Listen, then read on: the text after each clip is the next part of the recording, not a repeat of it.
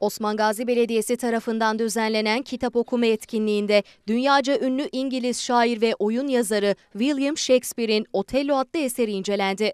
Osman Gazi Düşünce Atölyesi'nin düzenlediği etkinlikte Bursa Devlet Tiyatrosu sanatçısı Nurettin Örük, Osman Gazi Gösteri Merkezi'nde Otello'yu okudu.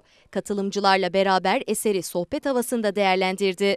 Otello oyununda da Otello Iago karakterinin söylediklerine inanmayı ve e, sevdiği insana e, bunları sorup veya araştırıp doğrusunu hiç e, bulmaya çabalamadan körü körüne bir e, inancın peşinde giderek kendi trajik sonunu hazırlıyor. E, biz de bu e, durumu temele ala- alarak e, kişi üzerinde, insanlar üzerinde bunu değerlendirip